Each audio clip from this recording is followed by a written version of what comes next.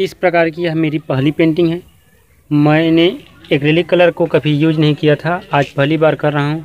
इसके अलावा मैंने तो एक्रेलिक कलर देखी भी नहीं थी। आज पहली बार देख रहा हूँ और इसे कैसे यूज़ करते हैं इसके बारे में भी मुझे नहीं पता। लेकिन इतना तो भरोसा है कि मैं एक्रेलिक कलर से ड्राइंग बना सकता हूँ, यानी पेंटिंग कर सकता हूँ। और एक्रेलिक कलर में पेंटिंग करने के लिए पहले बैकग्राउंड को बना लेते हैं। यानी कि जिस कलर में है, उसका थोड़ा सा डार्क कलर लेके बना बना लेते हैं। जैसे कि यहाँ पे मैंने डार्क ग्रीन लिया है। मतलब कलर बनाना पड़ता है। और मैंने सिंपल पेपर का ही उपयोग किया है। यानी कि सिंपल ड्राइंग पेपर का ही मैंने कोई कैनवास पेपर का उपयोग नहीं किया है। इसलिए यह थोड़ा गीला हो जा रहा है।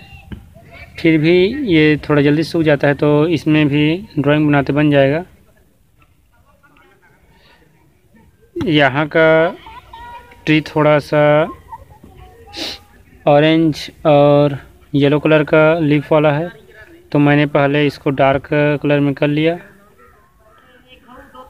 उसके बाद मैं इसे बाद में बारीकी से बनाऊँगा। ऐसा हो जाने के बाद।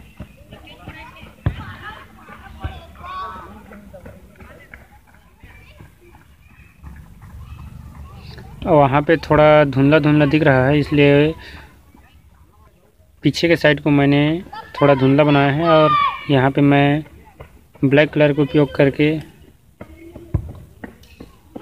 उसका सेप बना ले रहा हूँ, वृक्ष का।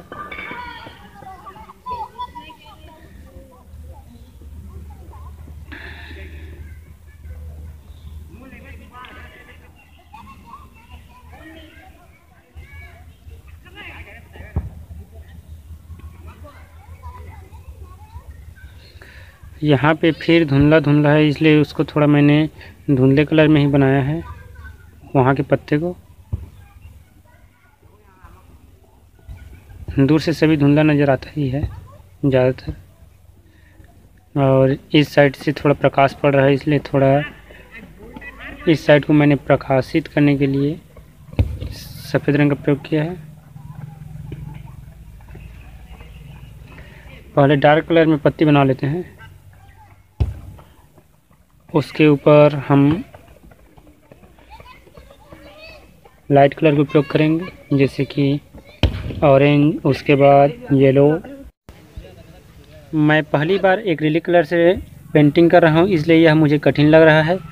लेकिन मुझे एक्रिलिक कलर से किस प्रकार से ड्राइंग करते हैं, इसका बेसिक पता है। इसके लिए पहले हम डार्क कलर कर लेते हैं, उसके ऊपर हम लाइट कलर का लेयर चढ़ाते जाते हैं। और इस प्रकार से इसमें पेंटिंग करना थोड़ा सरल हो जाता है। यह वीडियो थोड़ा लंबा हो जा रहा है, लेकिन यदि आप एक्रेलिक कलर से किस प्रकार से पेंटिंग करते हैं, यह सीखना चाहते हैं तो इस वीडियो को आप पूरा देखिएगा, क्योंकि मैं इसमें स्टेप बाय स्टेप इस पेंटिंग को पूरा बनाते गया हूँ। और यह मेरी पहली ही पेंटिंग है तो यदि आप भी पहली बार एक्रेलिक कलर का उपयोग करते हैं तो आप भी इसी प्रकार की अच्छी सी पेंटिंग बना सकते हैं। यदि आप में भरोसा है तो आप बना सकते हैं। यदि वीडियो आपको पसंद आती है तो इस वीडियो को लाइक करें और हो सके तो शेयर भी करें। और यदि आप मेरे इस चैनल पर पहली बार आए हैं तो मेरे इस चैनल को ज़रूर सब्सक्राइब करें, क्योंकि मैं इसी प्रकार की और भी वीडियो लाता रहूँगा। और